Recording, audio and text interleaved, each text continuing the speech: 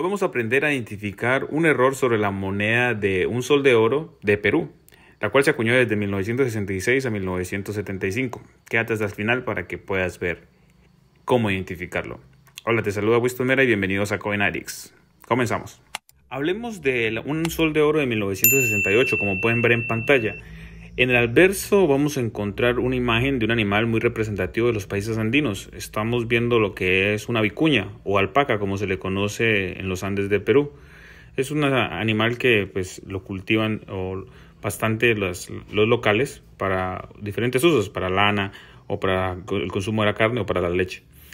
La inscripción que podemos ver es un sol de un sol de oro y, los colores de, esta, de este ejemplar son dorados, ya que los materiales son en bronce. Posterior a estos ejemplares se acuñaron en diferentes materiales como aleación de lata.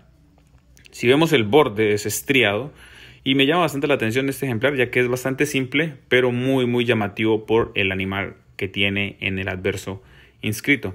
Entonces simple pero muy concreto y muy, muy, muy coleccionable, muy llamativo. Como pueden ver ese es el eje estriado del ejemplar como tal.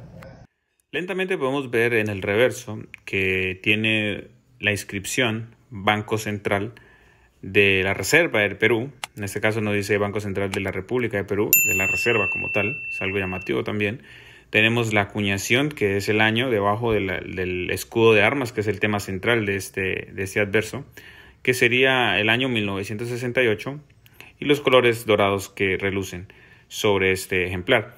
El precio, si me preguntan de este ejemplar como tal, en el portal forum.com está oscilando entre 50 centavos a 3.5 dólares. Todo eso depende del estado de conservación, como ustedes ya muy bien saben. Ahora sí, hablemos del error. El error es importante conocerlo y por eso estamos aquí. Vamos a conocerlo en qué año se acuñó y cuál es el tipo de error.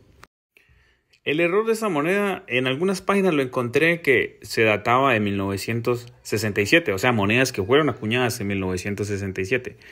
Pero eh, ya buscando en detalle en otras páginas, eh, vi fotografías de monedas de 1966 con un error en particular. en, específico, la página es numista.com y este ejemplo, eh, este ejemplar me mostraba un error conocido como doble pareja.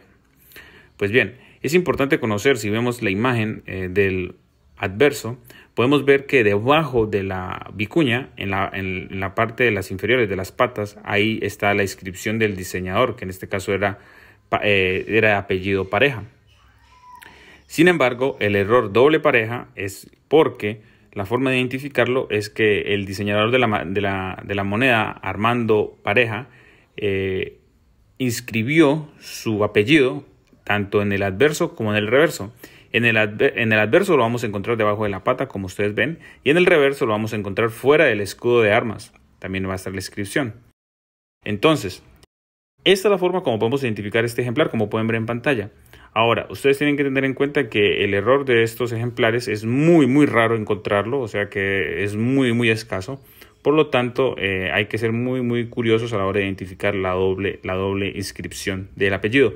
Este, este error puede oscilar en precios, encontré en algunas páginas, que puede ser entre 10 dólares hasta 45 dólares dependiendo de su estado de conservación.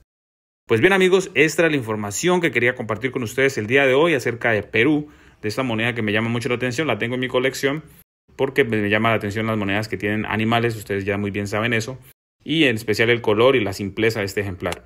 Entonces espero que haya sido valor esta información. Recuerden suscribirse, darle me gusta y nos vemos en un próximo episodio de esto que se llama CoinAlex.